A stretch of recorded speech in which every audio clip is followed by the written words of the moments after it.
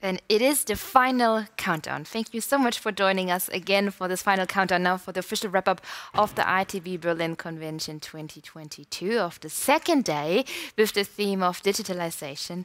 Lea, what a day, right? Wow, yeah, it was. And I, I, mean, it's over now already. Like, I can keep on going, right? It's like, I mean, it's so much fun hearing from all these experts, being in touch actually again with colleagues and peers from the industry, having them welcome here in the studio, like on site, talking to them face to face. I really enjoyed it. Like, absolutely. it was an uh, absolutely, yeah, wonderful day. Yeah. Again, a highlight now after you had the full day to digest, so to say. Was there something that stood out particularly for you? Yeah, well, if I check, it's not digested yet. I think I'm still like soaking everything up, like a yeah, like a um, like I want to just listen more and and read into it. But um, yeah, if you ask me like that and on the spot, I think there's a few themes that remain with us right after that day.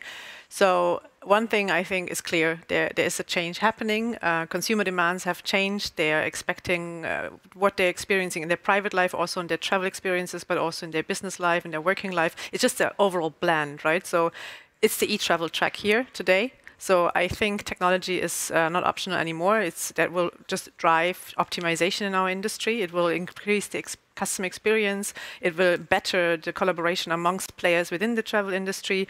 And um, yeah, I think that's just one thing, right? So technology is key here. It's, that will be the interface to better our industry. Then we heard a few keywords, like for example, flexibility is something that probably won't go away. So companies have just to prepare to remain flexible and offering flexibility to anyone, their teams, internally, external to their customers and partners. We talked a lot about collaboration needs. Um, so I think the overall level of collaboration increased a bit. That's at least what I sense personally, not only in, in terms of technology, the need for connectivity, data sharing, or just like really interacting together because certain problems, like as we, for example, discussed in the panel about digital identities, we can't just solve it by ourselves, right? And also, it was stated correctly, even the best technology by itself is not helping us. So we have to do it all together. So that's something I really take away. So we need each each of us here in uh, our industry to work together on a common goal. And right, I, just to summarize it, I think there's exciting times ahead, and uh, I'm looking forward to tomorrow so much because there we dive into a very important topic as well: sustainability. Katie, what Absolutely. what do you think? Can you tell us a little bit more if you could wrap it up in one hashtag? What would be the hashtag of today? I know it's been a tough program, you know, filled with different hot questions, different debates, of course, but is there one hashtag that or one keyword that came up over and over and over again? Right. I mean, I, I would stick with the hashtag of collaboration. I think, because that's just uh, across all verticals, across all themes.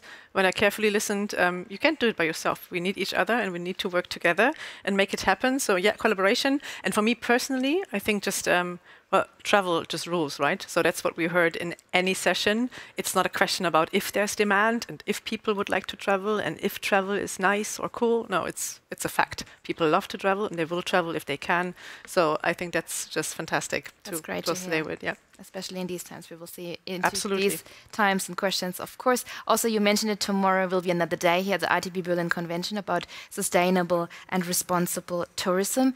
But besides that, are there any dates to remember in our calendars? Do we have to mark any dates yeah, first already? Of, yeah, first of all, I'm super grateful for everyone that joined us today here and stick with us for the entire day. I mean, eight hours full of content. It was just amazing. And, and we felt it, right? We felt everyone joining us virtually. We're going to check out all the social media posts as well later on.